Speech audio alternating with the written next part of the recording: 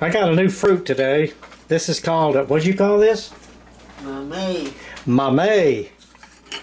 And uh, what you call, uh, Fiesta sells this, and I'm sure that uh, the store El Rancho.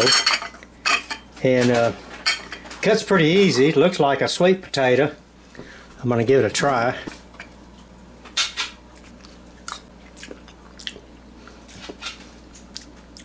Mm, boy. You can make shapes with that. Or eat it. Yeah.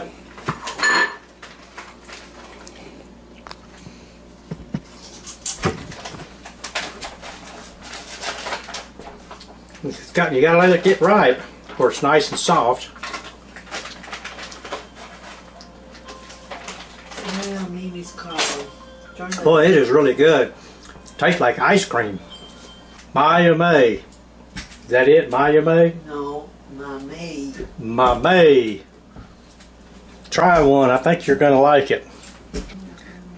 It's got a taste between a sweet potato and ice cream. Probably vanilla. Vanilla ice cream and a sweet potato. If you like sweets and you like fruits, try one.